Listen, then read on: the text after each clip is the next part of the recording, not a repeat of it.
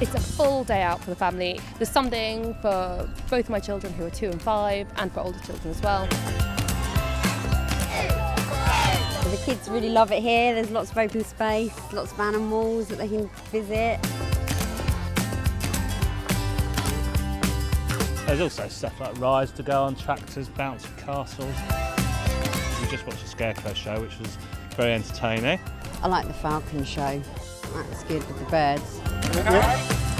I enjoyed the sense of freedom for the kids. There's lovely places where you can just sit down and let the kids sort of run around around you. It feels really safe as well, which I like that. They can play inside or outside and they just enjoy it.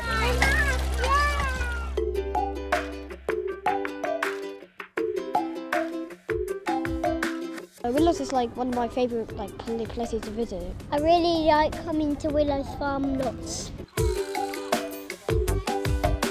I like going on all the games and seeing the animals. What are your favourite animals? Mm, probably the horses, cow, sheep. I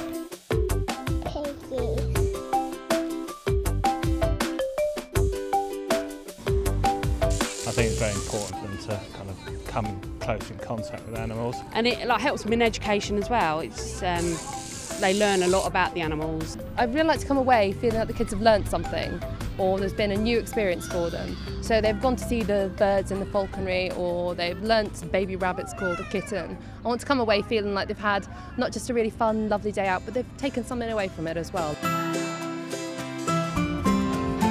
I have been here in thunder and lightning and if you're prepared to get your kids in wellies and waterproofs, then you can still pretty much do everything. You feel as if it's part of your home, really.